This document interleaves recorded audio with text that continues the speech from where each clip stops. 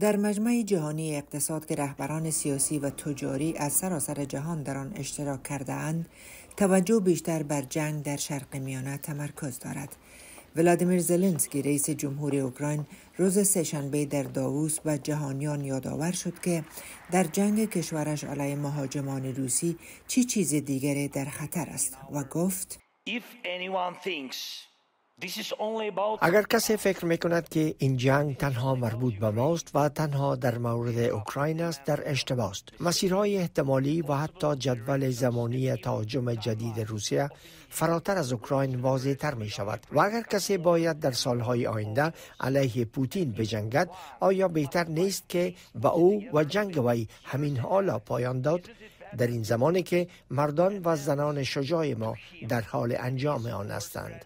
مسکو بلافاصله به اظهارات زلنسکی پاسخ نداد در حالی که روسیه سرمایه گذاری زیادی برای تسلیح مجدد نیروهای خود می کند کیف می گوید که به تسلیحات جدید نیاز فوری دارد جمهوری خواهان در کنگرس امریکا از لایحه هزینه های اضطراری که شامل حدود 50 میلیارد دلار کمک امنیتی برای اوکراین است جلوگیری می کنند.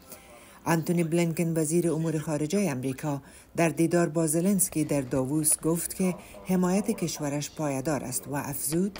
ما مصمم هستیم که حمایت خود را در اوکراین حفظ کنیم و برای انجام این کار با کنگرس از بسیار نزدیک کار می کنیم. در همین حال هنگری مانع بسته شدن 54 میلیارد دلار اتحادیه اروپا به اوکراین می شود.